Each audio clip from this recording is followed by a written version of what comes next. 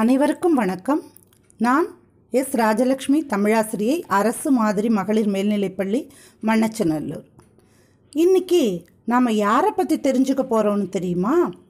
கடையெழு வள்ளல்களை பற்றி நீங்கள் கேள்விப்பட்டிருப்பீங்க.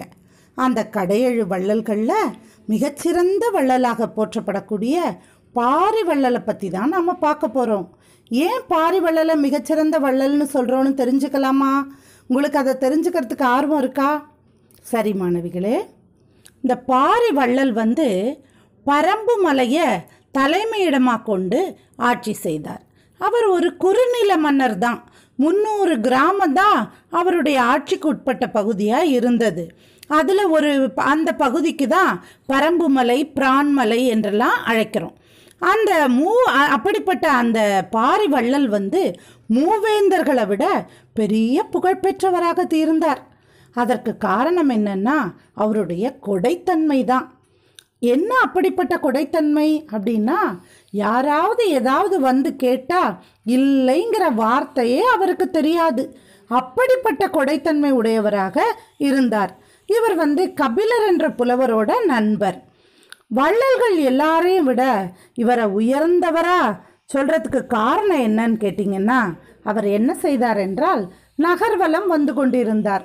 அப்படி நகர்வலம் வந்து கொண்டிருக்கும்போது ஒரு முல்லை கொடி படர்வதற்கு கொழுக்கொம்பு இல்லாமல் தவித்து துவண்டு இருந்தது. அதை பார்த்தவுடன் இவருடைய மனசு பொறுக்கலை. உடனே என்ன பண்ணார் தெரியுமா?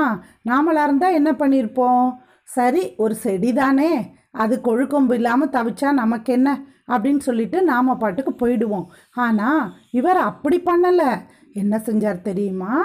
தன்னோட தேரையே கொண்டு போய் அந்த முல்லைக்கொடிக்கு பக்கத்தில் நிறுத்தி அந்த முல்லைக்கொடியை இந்த தேர் மேலேயே படர விட்டுட்டு நடந்தே தன்னோட அரண்மனைக்கு போனார். பார்த்தீங்களா மாணவ மாணவிகளே? என்னே ஒரு வள்ளல் தன்மை. யாருக்கு இப்படிப்பட்ட வள்ளல் தன்மை இருக்கும்? அதனால தான் இவர் வந்து எல்லா வள்ளல்களையும் விட சிறந்தவராக கருதப்படுறாரு. இவர் இவரை பற்றிய பெருமையை எல்லா நூல்கள்லையும் சொல்லியிருக்காங்க. என்னென்ன நூல்கள் அப்படின்னு நீங்கள் பார்த்தீங்கன்னா ஆளுடைய நம்பி என்று புகழப்பெற்ற சுந்தரர் திருத்தொண்டர் தொகை என்ற நூலில் இவரை பற்றி பாடியிருக்காரு. பாரியையே கொடைக்கு எல்லையாக சொல்லியிருக்காரு. பாரியை பற்றி நிறைய பாடல்கள் புறநானூறில் இருக்கு. எல்லாம் அதை படித்து தெரிஞ்சுக்கோங்க. நன்றி மாணவிகளே. மீண்டும் இன்னொரு வள்ளலை பற்றி நான் கூற வருகின்றேன். நன்றி வணக்கம்.